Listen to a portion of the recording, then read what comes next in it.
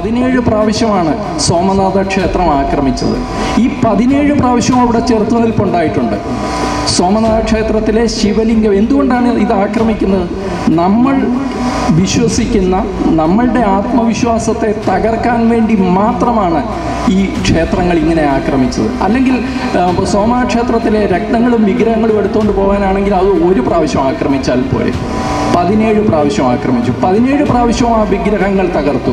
ശിവലിംഗം ഗസ്നി ഗോറിയിൽ കൊണ്ടുപോയിട്ട് അവിടെ പടിക്കെട്ടായി ഉപയോഗിച്ചു എന്നാണ് പറയുന്നത്. അപ്പോൾ ഇത് നമ്മുടെ ആത്മവിശ്വാസത്തെ തകർക്കാനുള്ള ശ്രമങ്ങളായിരുന്നു. അതിനെല്ലാം ഈ രാജ്യത്ത് ചെറുത്തുനിൽപ്പുണ്ടായിട്ടുണ്ട്.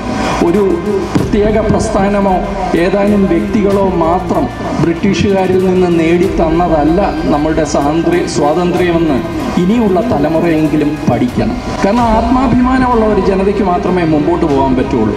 അയ്യായിരം വർഷത്തെ പാരമ്പര്യമുള്ള നമ്മളുടെ രാജ്യം നമ്മളുടെ ചരിത്രത്തെ വളരെ ലളിതവൽക്കരിച്ച് അറ്റവും രണ്ടറ്റവും വെട്ടിമാറ്റി വളരെ ഋജുവായ ഒരു രേഖയിലൂടെ നമ്മുടെ ചരിത്രത്തെ പഠിപ്പിക്കുന്നത്.